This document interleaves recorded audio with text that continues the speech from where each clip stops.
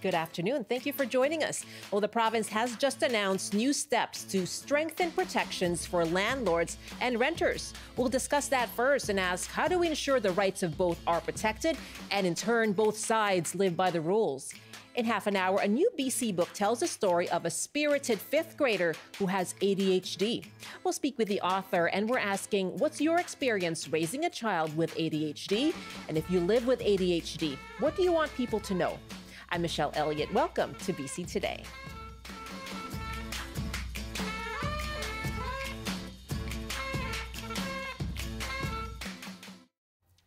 Thank you for joining us on CBC Radio 1, CBC Television, and live streaming on the CBC News app, cbc.ca/bc, and on the CBC Vancouver YouTube page. And you can call us right now on our top story. What's needed to better protect tenants and landlords in BC? You can call 1 800 825 5950 604 669 3733. Hit pound 690 on your cell phone. You can also email us bctoday at cbc.ca. You can send a text to 236 330 2623. Well, renter and landlord disputes just add more stress to BC's rental housing crisis. Now, the province says it's taking steps to offer better protections for both. Housing Minister Ravi Kahlon has just announced he's tabling legislation that would protect tenants from bad faith evictions. It would eliminate rent increases when a child is added to a household, and they're taking steps to speed up the dispute resolution process at the residential tenancy branch. And we are asking you on the open line what is needed to protect landlords and tenants? And how can we ensure that the rules are enforced? You can call 1 800 825 5950 604 669 3733. Hit pound 690 on your cell phone. Our email is bctoday at cbc.ca. Well, for more on this, Premier David Eby did begin a press conference just about half an hour ago, and here he is explaining what is in the proposed legislation and why the bill is being introduced.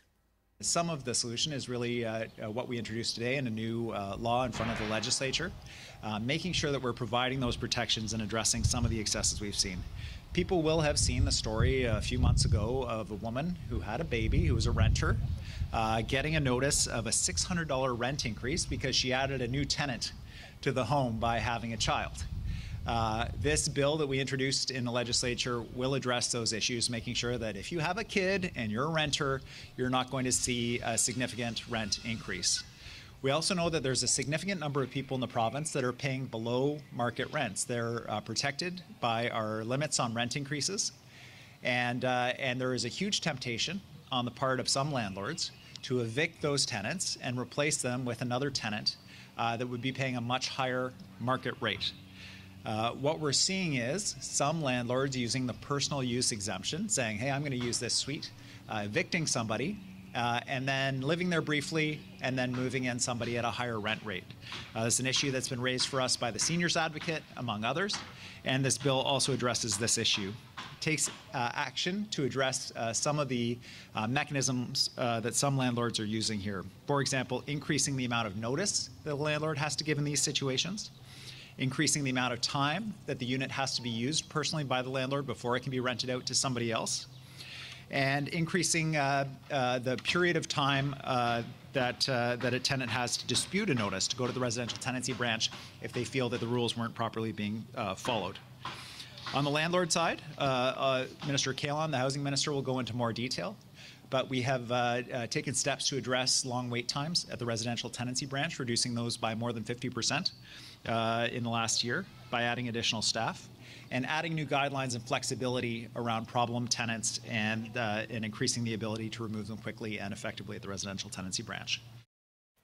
That is Premier David Eby speaking just in the last half hour. We are asking you on the open line what do you think is needed to better protect landlords and tenants in BC? And how can we ensure the enforcement of the rules? You can call us 1 800 825 5950 604 669 3733 pound 690 on your cell phone. You can also uh, dial us up or email us rather, bctoday at cbc.ca. Let's go to a caller now in Vernon. And uh, welcome to you, Larissa. Hi, thanks Hi. for having me on. Sure, yes. Tell us uh, what, what you think of uh, what's just being announced. Yeah, I mean, I think that it's kind of um, good common sense policy, I guess, to have a functioning RTB. Um, it seems like right now we're quite far from that. With The residential I mean, tenancy branch. Yeah, Mm. exactly. Mhm. Um, I personally have heard kind of some horror stories, but also just a lot of, um, you know, anxiety from homeowners who maybe would rent a suite, for example, but choose not to because they're so concerned that if they do get a bad renter in, that they will will not be able to get them out uh, within a reasonable time frame. And I think that this goes to the question of people trusting public institutions, essentially, right? People need to feel that if there are rules and mechanisms for enforcement in place, that they actually work in practice. Um, and I don't think that's how people feel about the RTB right now. And tell me more about what you are hearing. Um, i i and this is from, I presume, from people who would be landlords if they did trust that the system was uh, functioning properly. Yeah, um, I have a neighbor, for example, who for decades has operated um, uh, like SROs or, or rooming houses, and now you know transitioning to, for example, supportive housing. And for them, you know, the the likelihood that they do possibly end up with a problem tenant is higher. I mean, it's not always. They have a lot of great tenants too um, that they, you know, really who they really enjoy. Um, but it only takes one bad tenant and one really bad experience to break that trust with the system, right? And they're providing exactly the type of housing for, for people really on the margins that cannot afford any other type, right, of accommodation. And, Um, and is it about the weights, Larissa, or about how the dispute is actually um, resolved in the end? I mean, probably the wait is the biggest thing. I, I can't remember exactly how long it took, but it's also just all the costs. Like, there's, as far as I understand, there's lots of costs associated with getting someone out that, you know, it's not just making a case at the RTB, it's you actually have to pay for a sheriff to remove them. And then you, uh, you have to store their things for a certain amount of time or something. Anyways, um, okay. and it's it's quite burdensome, right? That and, and you know if someone damages the the um, the rental, you have a damage deposit, but damage can go way beyond damage deposits, and the RTB can rule that they owe money, but if they don't have money, they don't have money to pay, right? So. Okay. yeah, um, and and I don't know. Larissa, it's really good to hear from you. Thank you very much. And you know, you touched on that wait at the residential tenancy branch, which is where the uh, uh, dispute resolution would take place. There was an issue with long waits there. We heard from um, the CEO of Landlord BC last week on, on the coast, and, and he said that was an issue. Uh, there were long waits that were negative, uh, you know, had consequences for both landlords and tenants. And uh, he said that was because of the pandemic. Um, now, the province says since November 2022, wait times at, at the residential tenancy branch have been reduced by almost 54% um, from 10 and a half weeks in February 2023 to less than five weeks in February 2024. So just uh, uh, just over a month ago. And so they're saying that those wait times have improved. Um, and that's part of, in fact, of the announcement today. They're taking more steps to um, expedite the process at the residential tenancy branch. Thanks so much for giving us that pic- picture um, from Vernon, Larissa. Good to hear from you. And our number again is 1 800 825 5950 604 669 3733. You can hit pound 690 on your cell phone. And Housing Minister Ravi Kahlon did speak as well, along with the Premier, and he provided more details about how the proposed changes would actually operate. We know that most landlords and tenants uh, act in good faith. Uh, but there are those uh, on both ends of the spectrum that continue to put challenges on the system, and we need to make sure that we have things in place to protect them. These actions today we're introducing will ensure that there's gr- greater clarity for both tenants and landlords as we move forward. When evicting for personal use, we know uh, that landlords now, with this new change, will be required to submit a notice to end tenancy through the RTB's new web portal. This new web portal will ensure that landlords understand the requirements when they evict a tenant, are they aware of the financial risk uh, when they're evicting in bad faith. They have, uh, they'll be required to sign a declaration uh, when they're doing so, and also it'll enable government to be able to collect information so that we can get a good sense of how much uh, how much evictions we're seeing, in particular for personal use, because that data right now does not exist. We're also introducing a ban on evictions for personal use in buildings where the buildings have five or more units because we know that in particularly uh, a problem with multi-rental units, there we've seen a lot of long-term tenants being targeted for personal use eviction.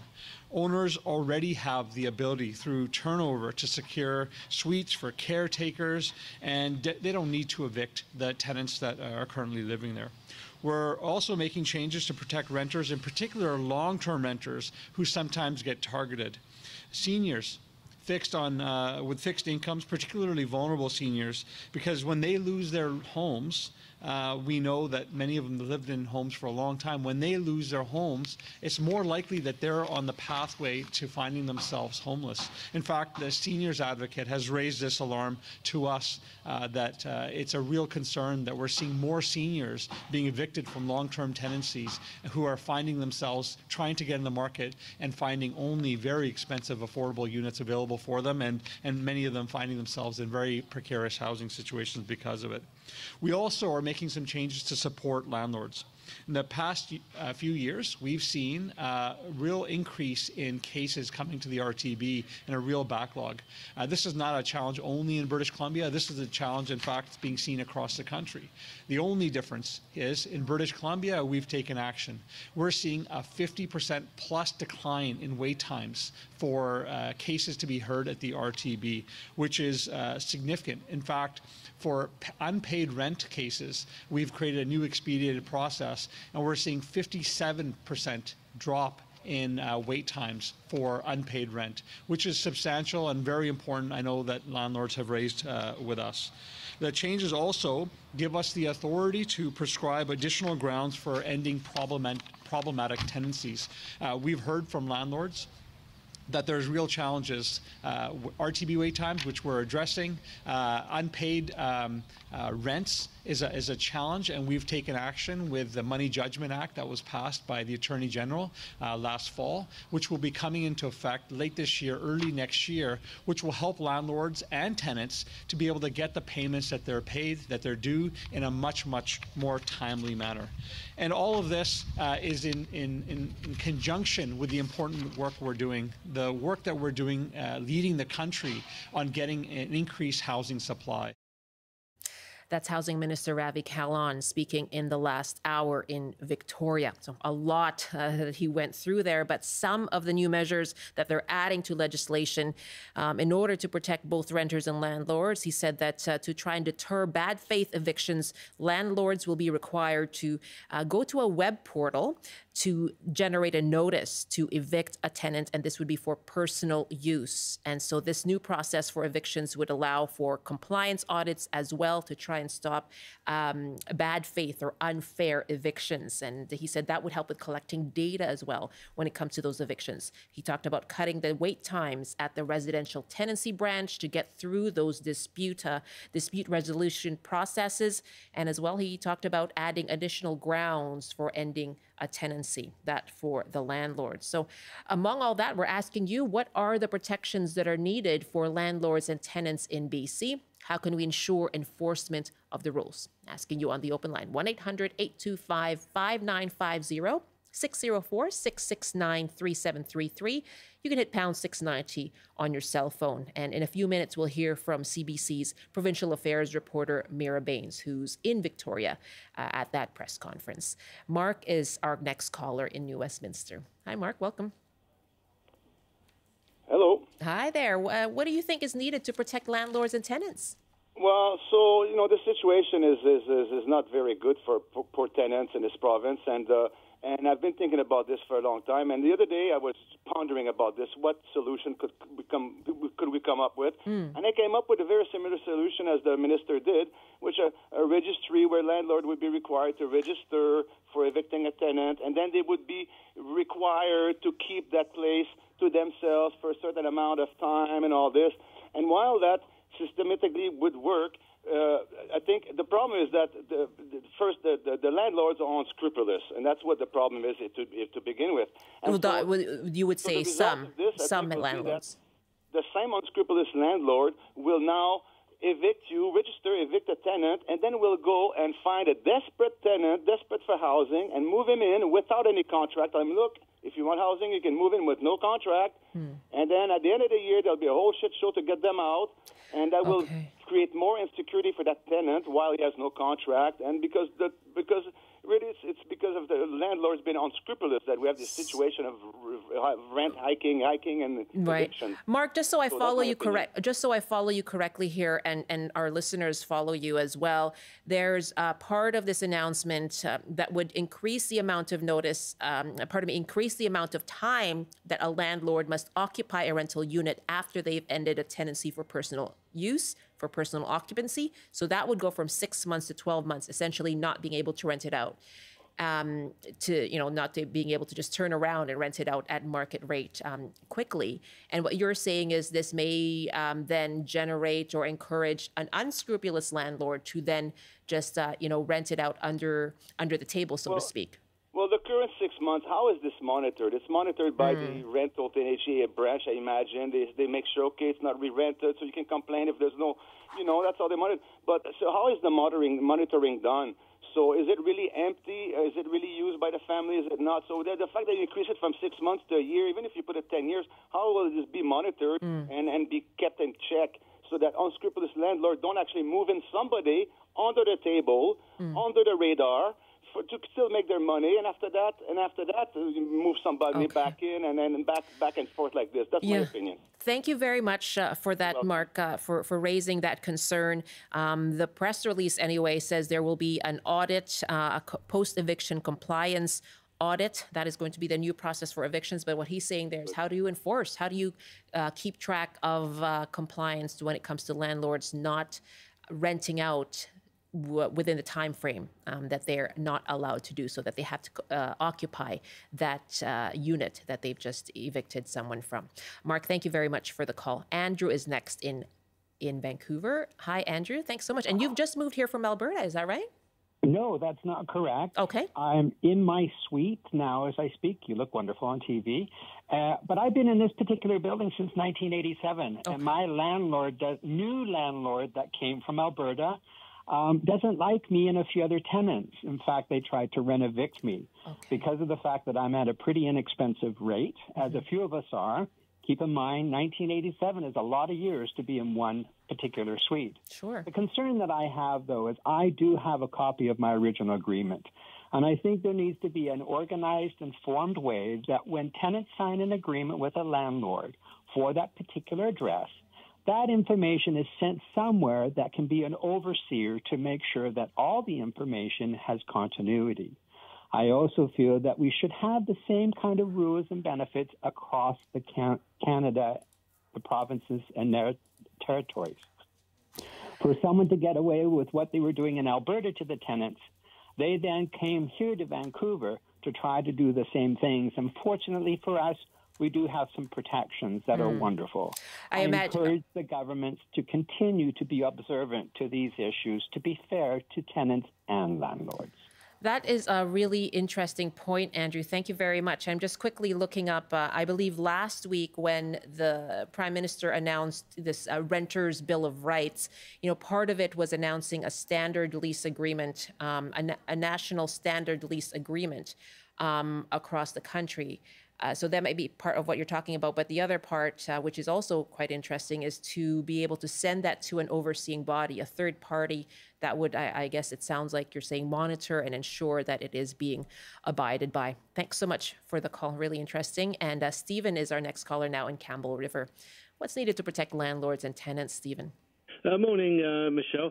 Um, I'm, a, I'm a landlord myself, and I was just saying, you know, if the government wants to bring down the cost of rent, you realise when I replace my mortgage, I get a I get charged an extra one or one and a half percent, maybe even two percent on my mortgage for a rental. When I go to insure my property, I'm paying double the insurance rate because uh, the insurance companies want more money. And then uh, when I go and pay my property tax, I don't get any discount because it's a rental. Now, if you want to bring down the cost of renting, have a go at these people because all those expenses get get added on to the uh, the rent.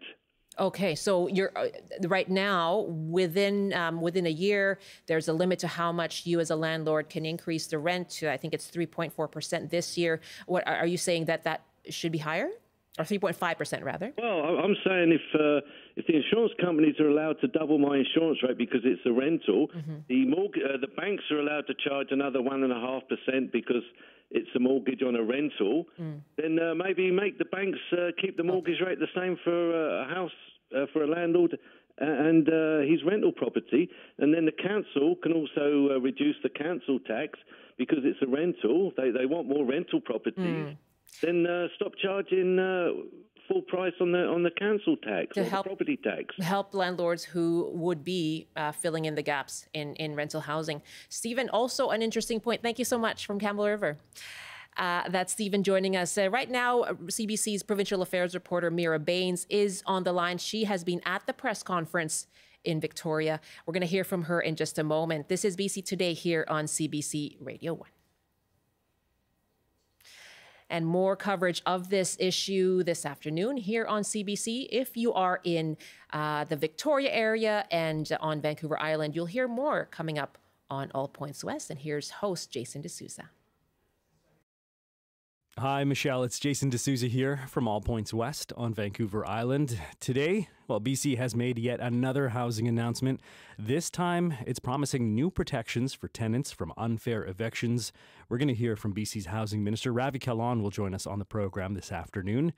And a true crime series launching soon is based on a murder that changed Greater Victoria forever. We know that true crime has become all the rage in recent times, but what impact does fictionalized accounts like this one have on the real family, friends, neighbors, community members who are left behind who remember these events all too well? Well, we're going to have that conversation coming up as well on the show.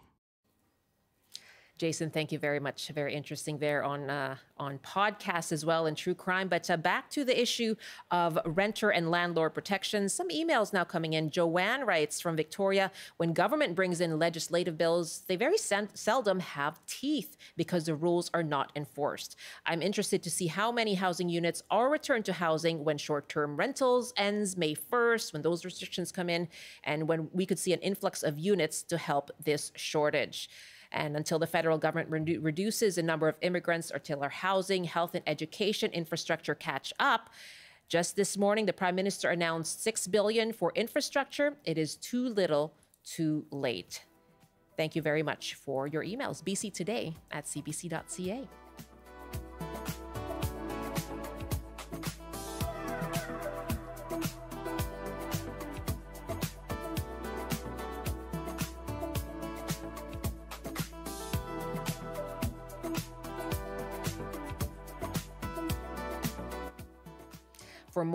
on this morning's announcement from the province, CBC's provincial affairs reporter Meera Bains joins me now. Hi, Meera.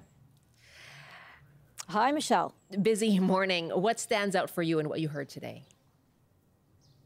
That's right. I'm in a lovely park in Fernwood uh, in the Victoria area. And uh, this is a community where you do see a lot of renters. And so in this announcement, uh, the, the, government really focused on closing loopholes around renter protection. Now, one of the things dealt with uh, purpose built rentals. And uh, Housing Minister Ravi Kahlon says evicting people from um, uh, these types of purpose built rentals. These are rentals in, in, in larger apartment buildings, um, have been a, a, a, fast way to evict uh, renters, especially seniors. And so they wanted to close a loophole involving these. And so, so one of uh, the, the amendments will deal with landlords being banned from evicting tenants for their own personal occupancy in these types of buildings. Mm. And for other types of properties, for suites, condos, a landlord will have to submit a new online declaration using a portal for personal use evictions. We have seen a lot of personal use evictions where a landlord says, um, a family member is moving in, uh, and then sometimes a tenant finds out that, in fact, a, a, a family member did not move in. And so, uh, under the under the new rules, what the government is also planning on doing is also increasing uh, the time that uh, one of these personal use uh, rentals is taking right. place. So from six months to 12 months. And so that's pretty significant. And also through this online portal, because um, the, the landlord will have to submit a form uh, through this online portal, the ministry can keep track of exactly how many times the landlord is doing this and for what purposes. And also then they can be audited as well. So that is pretty significant. And then, and just another loophole that they're trying to close is, um, uh, landlords will be uh, banned from increasing rents. Uh, for if, if let's say uh, a family adds another uh, family member mm. under the age of 19. So let's say a couple has a baby, uh, and so a landlord will not be able to increase the rent in, in those types of cases. Right. And Premier David Eby referred to uh, a high profile case that was in the news a few months ago. Meera, a, a, lot there to digest. Thank you so much for going through it with us. And I know that uh, the Housing Minister, Ravi Kahlon, will be on All Points West on Vancouver Island this afternoon. So stay tuned for that and lots more to come from Meera Bains. Thank you, Meera. Uh, it is now 1232, 132 in the mountain time zone. This is BC Today, a very busy morning, of course, on the rental housing front. Much more to come on that story uh, in the news and on your afternoon shows, wherever you are in the province. And coming up in our next half hour here on our program, we're going to take your calls on what you would like to be like people to know um, if you live with ADHD. We have an author joining us who's written a book that features uh, a fifth grader, a grade five student who is living with ADHD and what her life is like in school. We'll hear more about that book and also take your calls. That's coming up after the CBC News Update. And here's Robert Zimmerman. Good afternoon. Childcare providers in BC can no longer charge a fee to families looking to be added to their wait list. The province says some providers were charging non-refundable fees between 25 and $200 to hold a spot. Childcare advocates have called waitlist fees a cash grab. As we've been hearing on the show, the provincial government is introducing legislation it says will better protect renters. The new rules will restrict rent increases if tenants have rented a space and later have a child. Premier David Eby says the rules will also prevent some landlords from taking advantage of personal occupancy provisions. And for the first time in a decade, more Canadians left BC last year than arrived here from other provinces. Statistics Canada says close to 68,000 people left for other parts of the country, including about 40,000 who crossed into Alberta. Despite the decline in interprovincial migration, the population of BC rose above 5.8 million last year. And now the forecast the rainfall warning continues for sections of the central coast. On the north coast, showers this afternoon with strong winds and a high of 7, highs to 15 with a chance of showers in the Peace. In the central interior, showers this afternoon with a high of 12 degrees, highs up to 19 with a mix of sun and cloud in the Kootenays.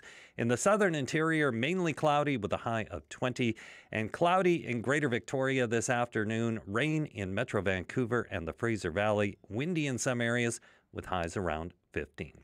That's your CBC News update from Vancouver. Thank you very much, Rob. And uh, lots more on the landlord and tenant uh, protections announced this morning, of course. Uh, Nicole is calling us now in the South Okanagan. Hi, Nicole. Hi, Nicole. Can you hear me? I can. Yeah. Yes. Can go me? ahead. What's what's you, you're both a landlord and tenant. I understand. I am. Mm. Yeah. I've got over a dozen rental units, and uh, and I'm also a renter myself. I'm a tenant myself. Okay, so what do you what protections are needed? Um, you know, I got to tell you, I'm pretty frustrated. Like as a as a renter, I feel quite protected. I I know the rules and regulations. I know I can't be evicted. I know I have a lease agreement. I know as soon as I pay my damage deposit, I'm entitled to that space. Um, but as a landlord, I feel so uh, unempowered. I feel so frustrated when you get into a situation where you have somebody legitimately damaging your investment, um, ca- you know, causing damage, threatening other room other rentals within the building or whatever. Are there not um, enough, and there aren't enough um, rules or grounds that enable you to to uh, evict? There just aren't. And mm. on top of that, they're saying, oh, well, so you submit an application for whatever it is, owner use, whatever. Mm. Um, we're going to give the tenant more time. We're going to give them more time to respond to that. And then maybe instead of doing two months, you have to have three months, four months notice. But don't worry, we've cut our wait times in half at RTB. Mm-hmm. Well, my last wait time was six months. Six months. And they've cut like, that down to five weeks. I hope so. Mm. I mean, that's not that's not the feedback that I've been getting. I'm mm. on a hmm. private landlord group. We support each other. We ensure everybody's following okay. the rules and regulations, like on Facebook. I hear um, you. I hear you, Nicole. Thank you very much. I do have to move on. My apologies, but thank you very much for sharing that. The frustration of uh, a landlord trying to go through the residential Tenancy branch dispute process.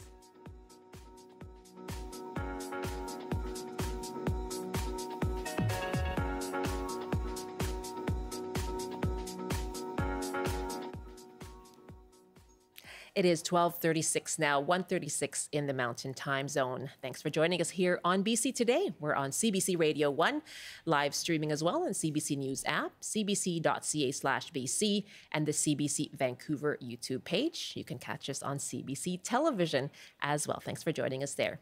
You can call us now on our second topic as well. We're going to talk about uh, life uh, living with ADHD and raising a child with ADHD. If you have experience with that, I'd love to hear from you. What's your experience raising your child? And if you live with ADHD, what do you want people to know? You can call us 1 800 825 5950 604 669 3733. You can hit pound 690 on your cell phone as well. And you can also email bctoday at cbc.ca or text us 236 330 2623. And yes, perhaps we're all getting into our regular routines after spring break. Uh, but for some kids who live with ADHD, there can be some more challenges. And so we are taking your calls on that as well. We're going to hear um, the story of uh, a, a, fictional child in this book we're going to talk about in a moment. But again, our numbers are 1 800 825 5950 604 669 3733. Love to hear your personal experiences. And joining me now in our studio is West Vancouver author Chris Reid. And Chris's new book is about a 10 year old girl who lives with ADHD. It is called Queenie Jean is in Trouble Again. It is published today. Chris, welcome. Congratulations. Thank you. Thank you. I'm delighted to be here. Oh, my goodness. Very exciting time. I understand this was a labor of love. Absolutely. Over 10 years. Um, and I personally do not have ADHD. So it was kind of a, a, big leap for me in many ways. But I've had lots of great coaches and writing help and, and worked hard along the way. And I found the, pub- the perfect publisher with Heritage House. They yeah. love the story. And where does the inspiration come from? My background originally was in English and music, and then I kind of went did another turn and got into math and accounting, and I did that for a long time. And then all of a sudden, I decided after the pandemic and whatnot, okay, this is it. This is time to get my book in shape. I'm going to yeah. get it out there. And why did you want to tell the story of a child with ADHD? Well, when I, when my kids were young, I, I have a daughter with ADHD, so that was the inspiration. Um, there weren't a lot of books about ADHD. There still aren't, and especially featuring protagonists with ADHD, mm. and even fewer where it's told from first person. So the story is totally through the eyes of Queenie. We know what she sees, what she thinks, what she says. And so it's a fully immersive experience, and that's what I was going for. And she is delightful Thank I have you. to say, I mean, I was reading, leafing through it, and I just thought, I love this kid. Um, and I think you have a page there that you're able to I read do. from. I think this just gives our audience a little bit of a sample of Queenie Jean. Um, Sure. Would you do us the honors of reading from it? Absolutely. The thing is, I never try to get into trouble. Sometimes trouble just happens, and sometimes it sticks to me like that dumb wad of bubblegum in my hair. Maybe it's because I have a weird name, or maybe it's because I have ADHD. Anyways, mom doesn't get it, and neither did the principal at my last school. I'm not sure the principal at this private school will understand either, or even Miss Smart, my new grade five teacher. Mrs. Payne, the very important principal of the junior school, looks so serious as she stands at the front door, towering over the kids. She must be about 10 feet tall. She's wearing the same all black clothes she wore last week when we toured the school. I run right up in front of her and stop. Kids pour in through the doors on either side of us, all wearing the same pea green and gray uniform. Hey, Mrs. Payne, hi! Remember me, Queenie? I whirl and dance and dance and whirl all around her because it feels good, because dancing helps me quash the wiggles and jiggles and dive bombers. Ah, Queenie, there you are. Mrs. Payne bends over and peers way, way down at me through her enormous black glasses.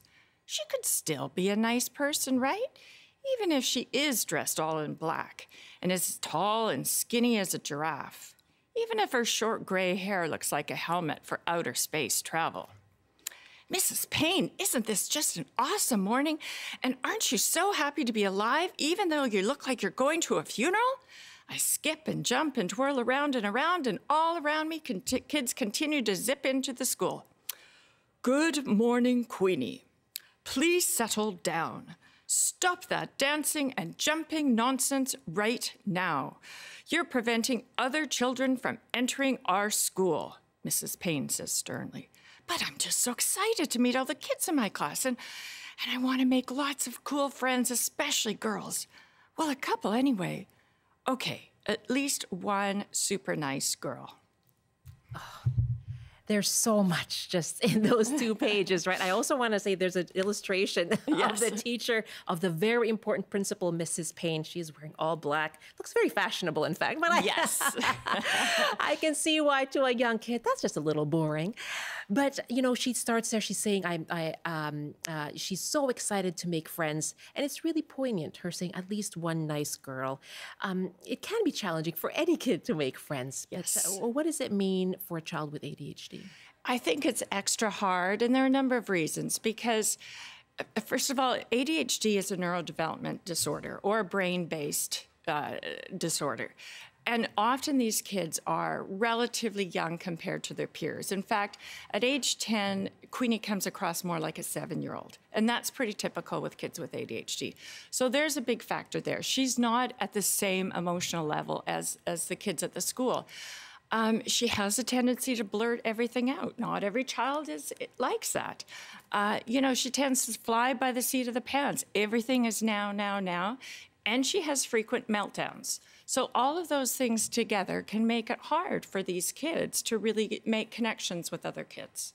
And and and as far as you're you're comfortable, can you share with us? You know, Queenie Jean is not your your your child, Correct. Um, but you know, what's it like looking for resources? Um, Well, you know, it's gotten better now because uh, my daughter was this age almost 20 years ago. So it has gotten better, but there's still a lot of misunderstanding out there.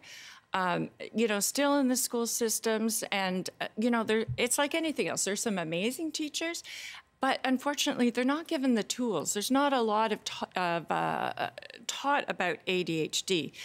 Um, so, and the Ministry of Education, unfortunately, doesn't recognize it as a disability or even recognize it that being subject to accommodations. So, it, it can be, as a parent, I mean, we were lucky enough to send a child to a private school, but a lot of parents can't do that. So, it yes, there are resources. CADDAC um, .ca is a really great one. It's a Canadian organization for ADHD, but um, it can be really rough to access, you know, what is needed. Well, we'd love to hear from other parents out there. What's your experience raising your child with ADHD? And if you live with ADHD, what would you like other people to know? Uh, you can call us 1 800 825 5950 604 669 3733 pound 690 on your cell phone. You can email bctoday at cbc.ca. My guest is author Chris Reid, whose new book is actually set in Vancouver, and uh, it's uh, called Queenie Jean is in Trouble Again. Uh, let's take our first caller now, Chantel in Nanaimo. Hello, welcome. Hi, how are you? I am fine. Thanks very much for calling. What is it you'd like to say about ADHD? Um, well, I myself have ADHD, um, but I'm also the chair and co-founder of um, ADHD Advocacy Society of BC. Mm, we're relatively new. Um, we came out in 2022, um, and we're, we're, we're picking up a lot of steam now. Um, yeah, I have ADHD. My kids have ADHD. Everybody on our board has ADHD. their kids have ADHD. I mean, obviously, it obviously runs through the family a lot. Um, we've decided to do that because there was no like um, voice specifically here in BC. CADDAC does some amazing, amazing work. Um, we're in frequent touch with them um, through our journey here, and uh, but there wasn't anything specifically for BC mm. because there's some things that are just different here, right? And mm. how things are done in the different ministries. What's what's um, different? What's different? Oh, uh, for example, the medication in Ontario for ADHD medication, it's all covered up until the age of 19 in Ontario, um, whereas here it's not.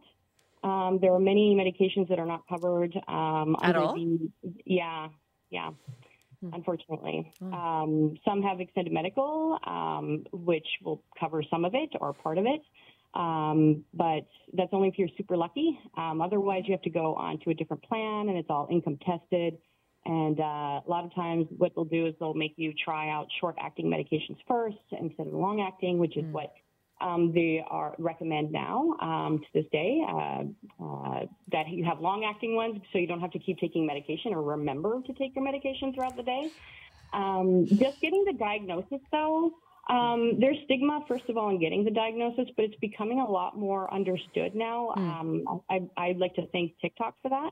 Um, it is. And, you're right. It is um, yeah. something that we see on social media. People really speaking up, even if they've just come to their diagnosis, uh, you know, later in life as an adult. Yeah. Well, I, I got diagnosed um, about three years ago.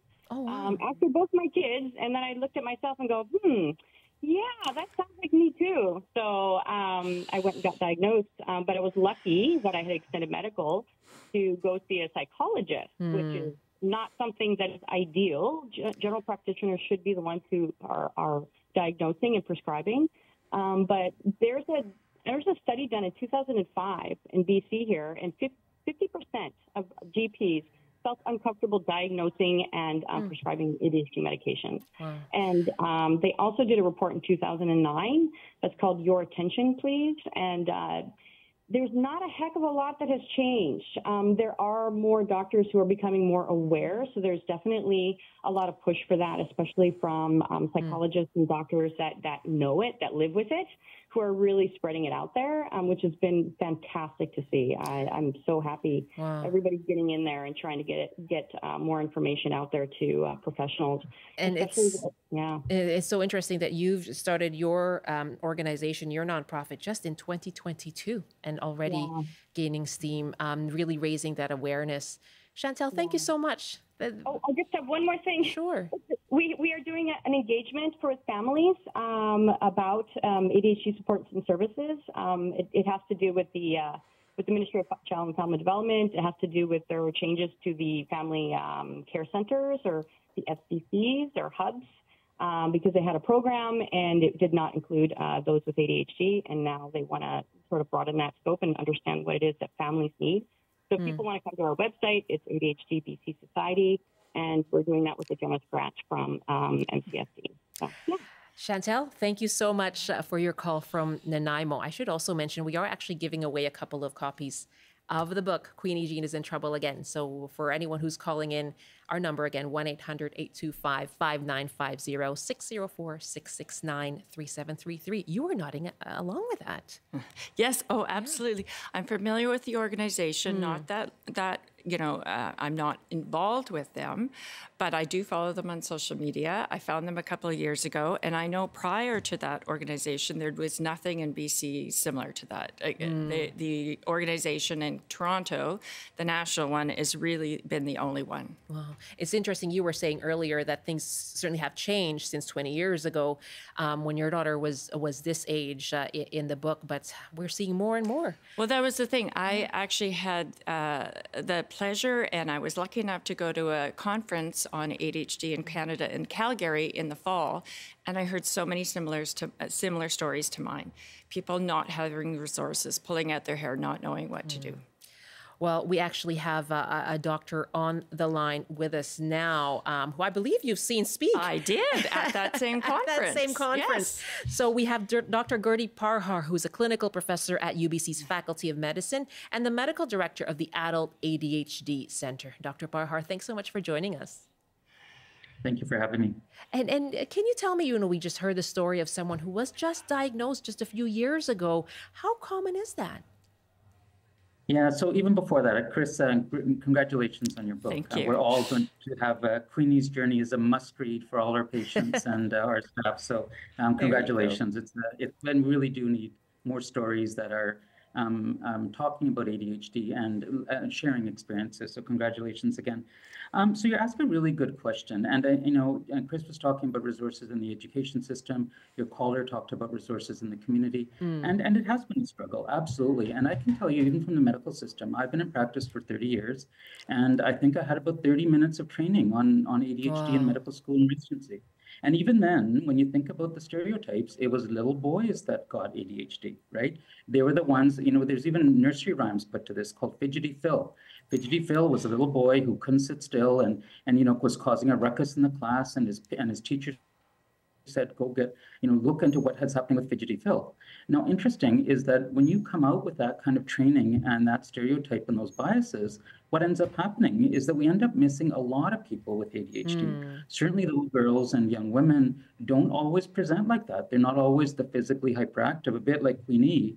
There's a lot of external distractions, but there's the internal distractions as well. So, the inability to stay focused on something, getting distracted easily, being absent minded, being daydreamy. And so, a lot of young girls and women get missed over the years. That's why I'm delighted with Chris's book and Queenie's Journey, because I think we need to stop thinking about those stereotypes because the medical community has been missing um, a lot of people who needed help, particularly women. So to answer your question, um, a lot of women, a lot of men too, have been diagnosed a lot later in life now. And when we see them in the adult ADHD centers across Canada, um, you know, there's a lot of what could have been, should have been, would have been, mm. right? Um, and, uh, and, a lot of times people will say, "Great, Dr. Parhar, I'm great with the diagnosis now, but where were you when I was in grade three? Where were you when I was in grade two? Mm. Right? Um, so I think I think that people coming to this understanding, and seven years ago we weren't even talking about it, and now, as um, Jean, as Chris said, you know, people are talking about it on TikTok and other areas. And that's great. I think the increased awareness is important, but there's so much more work to be done. I'd love to ask you what now then, you know, for someone who's just been diagnosed, but we are actually getting calls from people uh, with lived experience. And uh, Dustin is joining us from Vancouver. Hi, Dustin. Welcome. Hi. Hi. Tell us, um, you know, what uh, you'd like people to know about ADHD. Uh, well, I just find that sometimes, like, keeping that organization or the sorting, um, when it comes to that, their main when someone with ADHD has trying to get new projects sorted or anything, they have a fine t- hard time finding that organization to keep it clean or keep it in a certain area. So mm. when that organization is put in place ahead, say whether it's another person helping them, shelving, labeled boxes, somewhere where they can store their things, it does tend to help. While have not having it ends up with that mess that most people see it as. Mm. And especially within schools and whatnot, kind of relating to Jeannie, I always had a very messy desk, and yeah. it was always the cleaning, but it was never it never stayed the same that since the clean and it would always go back to how it was. Right. So so much of that accommodation or that preparation sooner helps. Yeah. Yeah. That's a really good point dustin. Thank you so much for the call Great to hear from you. Amy is up next now in Cranbrook. Hi, Amy. What would you like to share about ADHD? Hi. Um, I was just diagnosed, oh my goodness, three months ago. I believe, and it's. I mean, it's it's been life changing in a way. Really? Yeah, I was diagnosed actually just because my I have a psychiatrist, but my GP was thinking like, cause I dealt with um, persistent fatigue, Hmm. and you know, medications, tests, everything was, was coming back normal, and it was um, his wife, who's a psychiatrist, was like, well, you know, maybe ask her to go see her psychiatrist and get like the screening done, get the test done. Why And has so, it you know, why has it been life changing for you to finally get that diagnosis? I mean, it answers so many questions I had growing up. Like Dustin from, I believe it was Vancouver, who was previously just on, he was talking about the organization and that prepping and the planning. And 100%, like I struggled with that when I was younger. And now being older, like I firmly live by that of like having to know exactly what's going to be asked of me, needed of me, and so on to be able to move forwards with whatever project is coming up. Yeah. How does this change things for you moving forward? I mean, hopefully, I'll just be able to plan better for the future. Medication wise, it has been helping significantly. It must be so validating as well. Oh, it most definitely is. Yeah. I can imagine. Amy, congratulations. I'd like to say that because now you you have the answers to all these questions, right? Oh, I do. Yeah. Yeah. Thank you so much for the If call. Yes, go ahead. I was if I going to go just- to you, Dr. Parhar. Please, thank you. Yeah, if I was just uh, going to add, that, thank you for sharing that. And that is exactly it. You know, I see 20 to 30 ADHD patients on a daily basis. And I can tell you, after 30 years of practice, nothing is as satisfying. People will say, You don't understand. I'm not that same person anymore. You know, I can make decisions. As, as the previous caller said, I can get things organized. I can get onto a path of improving. And we think about attention and we think about hyperactivity, but there's so many other things. People with ADHD often can't even get something started Mm. because because they're uh, feeling exhausted on how much effort it's going to take. They have impulsive behaviors, you know, binge drinking, binge alcohol, binge eating. Um, they often have angry outbursts or emotional dysregulation. So ADHD isn't just about a hyper little boy or a little girl in a classroom. It's so much more than that, and I think that's what we need to understand. And because you only know your brain, you, your own brain, you don't know what the way the rest of the world lives. So when people get treatment, and not everybody needs medication, but once you get treatment for ADHD, you realize how much easier everyone else's life is. And you've been putting in all this effort. We, we actually think that people with ADHD are putting in four times the effort Wow. to accomplish the same thing as someone without ADHD. And can you now- imagine how exhausting? Oh, can I, you imagine I can. exhausting And she talked about that fatigue, right? Uh, it, This just opens doors for people and uh, and being able to recognize as well um, I, I, their stories in Queenie Jean. Congratulations. And thank you very much. And that was a big part of this too, in Yeah. that I wanted to show the impact it has 24 hours a day. Yeah. It's not just during school hours, in the impact on the family. So great to have you both, Chris Reid and Dr. Gurdeep Parhar. Queenie Jean is in trouble again is the book. Dr. Parhar is at UBC's Adult ADHD Clinic.